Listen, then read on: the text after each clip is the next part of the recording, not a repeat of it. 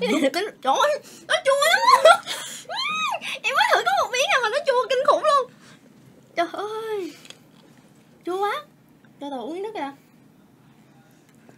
có thể là ăn một tép không? Ừ, mới chưa nói chưa, nữa. nó tứa ra nó tứa ra trong này Tại sao không cho ăn xoài đi chờ ăn này Nhà, đi những ai đang xem chương trình hãy xem thật kỹ nhá sau đó có bạn nào bị tứa ra giống như không thì hãy comment cho Ghiu biết nhá Chết mất thôi À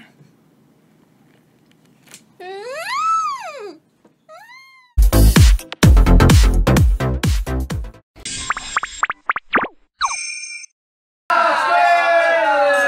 감사합니다. 눕방이라고 아 망했어 망했어